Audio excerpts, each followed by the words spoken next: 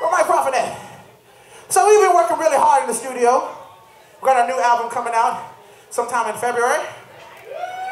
The song is called, this one particular, I want to tell a little bit about it.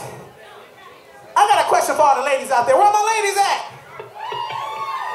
So why y'all gotta keep going out with these knuckleheads? You know, ones that punch your ass in the damn elevator and shit. You know, I'm just, I'm just trying to figure out why do these women stay with these bad boys? So I wrote a song about it.